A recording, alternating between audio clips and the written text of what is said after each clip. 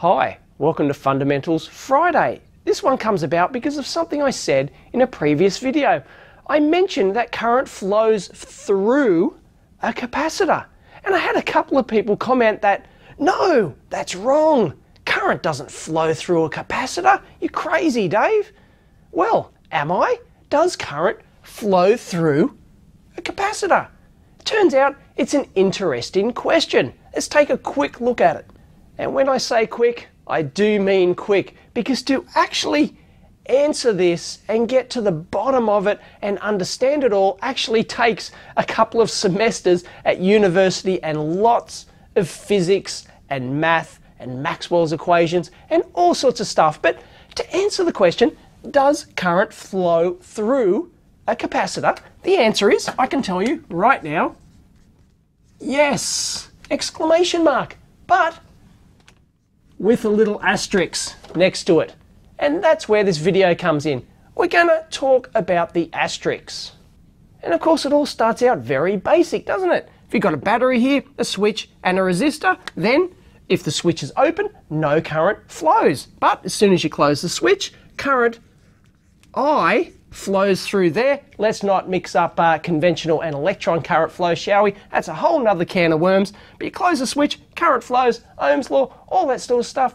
Electronics 101. It really is. But what happens if we put a capacitor in here like this?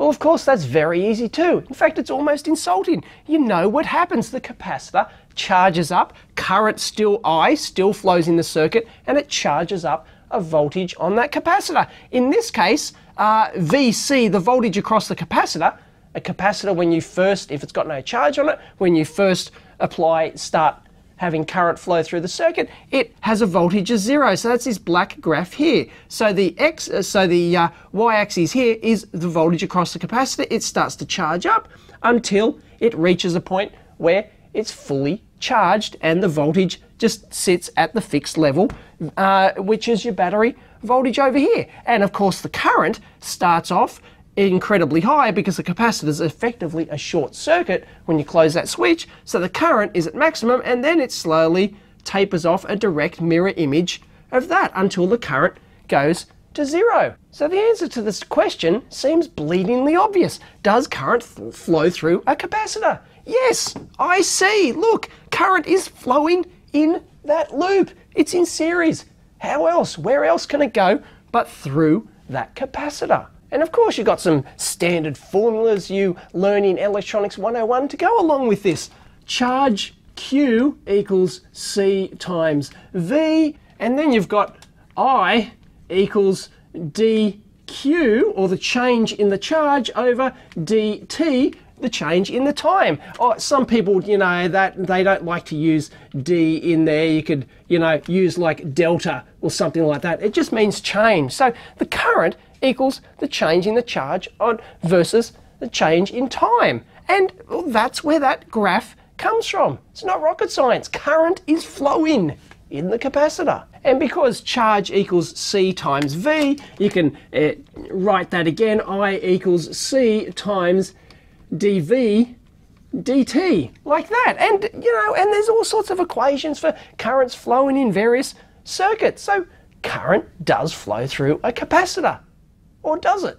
And just so nobody nitpicks, yes, I know it's actually IT in there. I didn't add the T in there. And if you put a current source in series with a capacitor like this, which is essentially what we did in the previous video, which caused all this ruckus to begin with, then the, uh, the T drops out of that and I just equals C times V on T. And the uh, VC, the voltage across the capacitor, will charge up, uh, will uh, rise in a linear fashion like that, just as we saw in the previous video. So there's current flowing in here. So it's time to ask ourselves, what is current? Well, electronics 101 again, right? Current is the flow of electric charge. And when you have conductors like you do in electronic circuits, they're made up of conductors, wires and resistors and stuff like that, then it's the flow of electrons through that circuit. Now, let's not get into drift velocity and stuff like that. There's a whole nother can of worms where the electrons, you know, move at like a one millimeter per second through the entire circuit. Uh, Google that one. But yeah, it's just the flow of electrons in this circuit. That's why when you break the switch, no electrons can flow in this circuit at all. But is it a capacitor just like an open switch? Look, that, this symbol itself tells you that there's a break. What's the difference between a switch symbol and a capacitor symbol? It's they're all they're identical, right? And that comes down to your, what you basically know about capacitors, right? They block DC and they allow AC or changing currents to ch uh, pass through them. Hmm. So now we'll take a brief look at inside a capacitor here and that requires a whole separate video so it's going to be very simplistic. Well you know that a capacitor is just two metal plates like this or it can be two bits of wire just sitting in the air like that like a switch remember a switch has capacitance as well tiny amount between the contacts any two wires in any space is effectively a capacitor. Anyway, it's got two plates in there and it's got a dielectric material in the middle of it. And what that does is actually creates, when you charge up a capacitor, you're actually uh, building up a charge on both of these plates. They're going to be equal and opposite charges between the two plates, and you're going to set up an electric field between the two plates. But because it's like an open switch, no actual electrons actually flow through the material. And once again, we're talking about an ideal capacitor here in practice. Yes, there's a tiny little bit of resistance in there like that. So some electrons do actually sneak through the dielectric material, but we're just going to ignore that because, well, that's just going to confuse the issue. No electrons actually pass through a capacitor like this. It's just, a capacitor is just defined in terms and understood in terms of electric charge building up on the plate. Yes, we've got current flowing into and out of the wire, for example, and current can flow down these plates because they're actually metal, right? You can get electron flow up and down these plates like this, okay? But, well, nothing can go through the middle. It's like a switch, it's open. No electrons can flow. So what's going on? How can current flow through a capacitor. It's sort of, you know, we know current flows through because it's a series circuit and well, you can actually measure it and you've got all the basic electronics 101 formulas that tell you current flows through a capacitor. But when you look at it in terms of electric fields and how it's two separate plates and an insulator in between, that's what a dielectric is. It's an insulator, be it air or mica or ceramic or whatever material it happens to be, no electrons can actually flow. What's going on?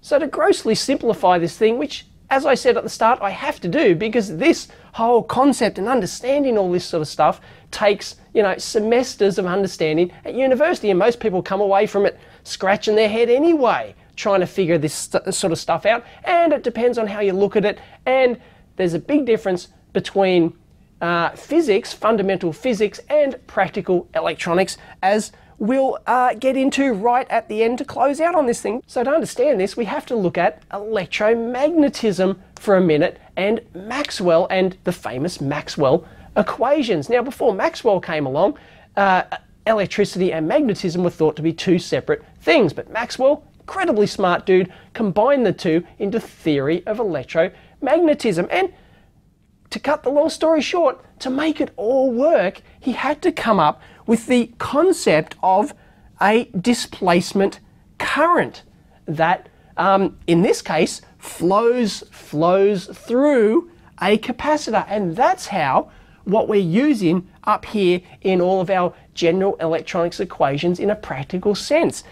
So what it comes down to is that we've actually got two different types of current. There's electric current, which we explained right back at the start, is you know the uh, flow of charge and electrons, and but we know that electrons can't actually go through an insulator in a capacitor or anything else. So um, what Maxwell came up with is a concept called displacement current, and that gives us a second definition of current.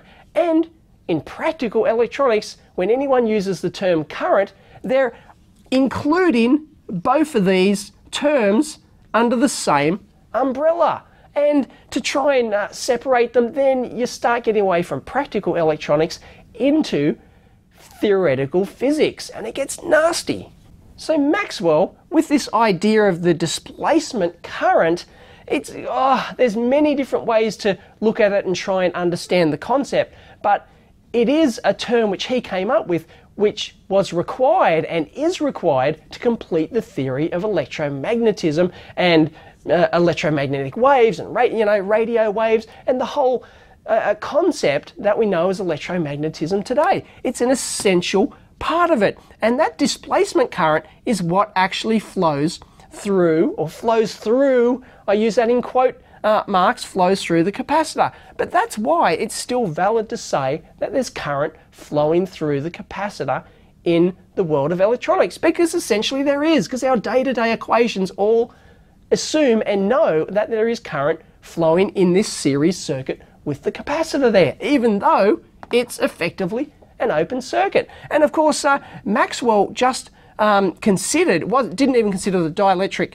constant in here even if it's a vacuum he said, well, a vacuum is just a dielectric like everything else. It's just got a um, dielectric constant of 1 instead of, well, most other materials have a dielectric constant above 1. But there's, it's just a dielectric constant. So that's how electromagnetic waves can travel through a vacuum. And it gets really, really nasty, and I don't have time to go into it. So as you charge up a capacitor, you're changing the electric field, you're varying the electric field between the two plates. And of course the electric current can flow onto the plates like that. And so current is flowing in to one plate and leaving the other. But what actually happens in the dielectric material is not electric current flow. There's not electrons actually flowing through uh, the dielectric material. It's the changing electric field between the plates actually also creates a changing magnetic field, and it's that magnetic field concept which causes the displacement current. It gives the equivalent current, except in terms of electromagnetics, flowing through the dielectric material. So current is still flowing through. You've got I going in here, you've got I popping out there, and well, what happens with inside the capacitor? Uh, it's not magic, it's just fundamental physics and how you understand a displacement current field in Maxwell's equations. And therein lies the trick. When you're on the conductor, i.e. the wire coming in, and the plate, you can talk in terms of electric currents and everything's just fine and dandy. But once you leave that conductor and get into the insulator, i.e. the dielectric material, you've got to start talking in terms of uh, changing electric fields, which creates changing magnetic fields, which then uh, you can have energy um, storage and transfer in these magnetic uh, fields. And that's how current is able to go through. And it all comes out in the wash in Maxwell's equations. It'd take 10 boards worth of equations for it to all come out in the wash. But so, you know, you can go deep into the concept of how you're actually able to get current flowing through the insulator it does, because Maxwell's equations tell you it does. And a not too dissimilar thing pops up when you start talking about inductors. And it's like, well, how dare an inductor not pass all of its current through? How can there not be any current flowing through an inductor? It's just a bit of wire. It should conduct. Well, it's the electromagnetic fields in the thing. And that's uh, the sort of inverse relationship between capacitors and inductors. In this case, um, capacitors, as the rate of change of the electric field goes up, the greater the current that can flow through this thing. And conversely, with um, inductors, then the uh, greater the change of the magnetic field, the less current flows through it. So there you have it. That's it in a nutshell. And I'm sorry, I'm not going to go into any deeper. If you want to know about it, then Google the word displacement current and electric current and go into it, electromagnetism and Maxwell's equations and the whole thing. And you can spend years and years of your life trying to understand how or if current flows through a capacitor. But as I said, in practical electronics, yes, current flows through a capacitor. And when you use the word current, it means, it, it implies the combination of electric current and displacement current, i.e. the flow of actual electrons or electric charge through a conductor. And then when you don't have a conductor, i.e. you have a capacitor, it's a effectively another case, it's not a special case, it's another case of using a different type of current called displacement current. And it's a mathematical concept which uh, depends on how you want to interpret it, whether you're not a physicist or a practical electronics person. And that's the point. To say, to say somebody's wrong by no, current doesn't flow through a capacitor is just crazy. It's of no practical uh, value whatsoever. Try and design any practical electronics by thinking that current doesn't throw, flow through a capacitor. It's just stupid. Doesn't work. So really, there's two different worlds going on here. There's the uh, fundamental physics world of electron flow and charge carriers and all that sort of, you know, jazz. And there's, you know, the high level macro practical electronics thing where we use all our basic equations and current flows through the capacitor and all the equations work and everything's just fine. And that's how we teach electronics, that's how we understand it, that's how we uh, design things with it. The fact that current does flow through a capacitor. So as I said, yeah, you can get into deep theoretical physics of how and if and what the definition of the term current is, but it's of no practical value. Because at the end of the day, displacement current, it, it's no point thinking about it because you can't buy a displacement current meter and whack it in between the plates and measure the displacement current. It's a mathematical concept, effectively. So just, ah, oh, don't worry about it. Electric current flows through a capacitor. Through. So theoretical physicists, go for your life. Me, I'm going back to the bench using my current meter to actually measure the current. So, does current flow through a capacitor? Well, let's find out. Yep. Catch you next time.